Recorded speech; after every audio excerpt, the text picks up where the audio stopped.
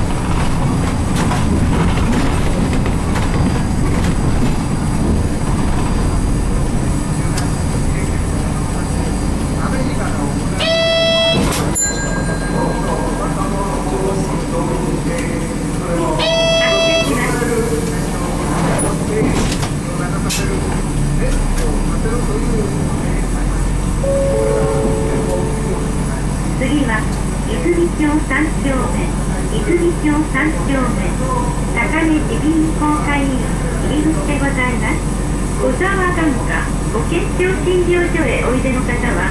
ここでお降りになると便利です。診療所も新しくなり日帰り白内障手術を開始いたしました。